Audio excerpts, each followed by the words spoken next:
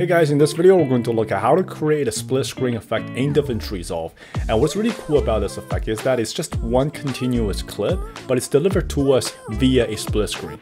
So without further ado, let's go ahead and get started. Okay, so we have our clip right here and to get started, the first thing we're going to do is to create two duplicates of the same clip and then just layer them right on top of each other. So then the next thing we're going to do is to disable the two clips that are at the bottom and then the clip that are on the top, we're going to use that to create the first part of this effect and we're going to start by cropping it and we're going to crop right so that it only takes up about one third of the screen. Okay, so that looks good and then we're going to start trimming this clip.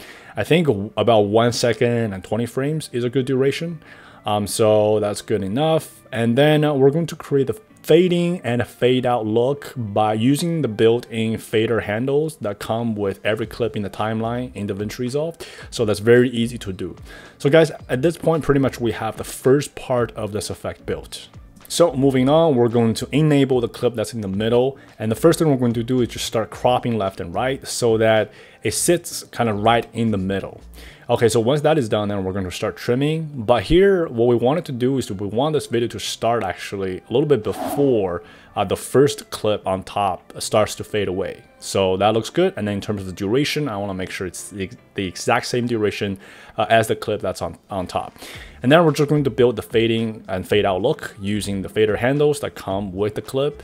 Uh, once that is done, guys. Um, so yeah, at this point, you know, this effect is really starting to uh, slowly uh, come together.